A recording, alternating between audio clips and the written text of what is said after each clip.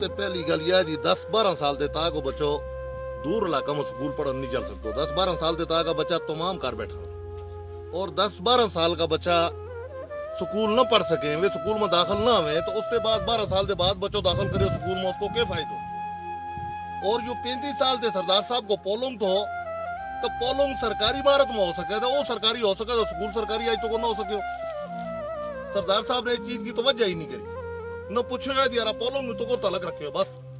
ये देखें लोग इसको अपनी ज़रूरियात के लिए इस्तेमाल करते हैं ये ताले लगे हुए हैं स्कूल के दरवाज़ों को। ये आप देख सकते हैं।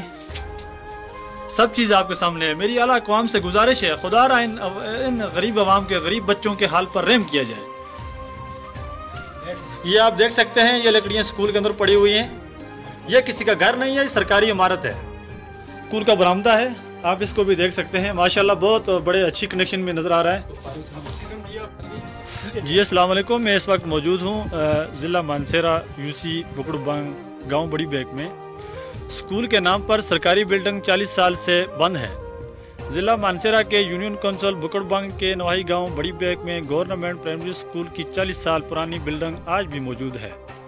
जो कि 40 साल बंद है और वहाँ मौजूद लोग इस बिल्डिंग को अपनी आम ज़रूरियात के लिए इस्तेमाल कर रहे हैं, जो कि तस्वीर और वीडियो में देखा जा सकता है।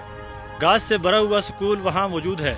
लोगों के मुताबिक आज तक इस स्कूल में कोई क्लास नहीं लगी और न ही न ही कोई उस्ताद इस स्कूल में आया है। इलाका में स्कूल के नाम पर सरकारी बिल्डिंग के बावजूद दुशवार गुजार रास्तों से गुजरते हुए दूर दराज के इलाकों में जाकर बच्चे तालीम हासिल कर रहे हैं। इलाके के लोगों की अलाकाम से अपील है कि इस बिल्डिंग को डीमालिश करके दोबारा स्कूल के लिए बहाल किया जाए। और मेरे साथ इस वक्त इलाके के इलाका के नामवर शख्सियात और लोग मौजूद हैं।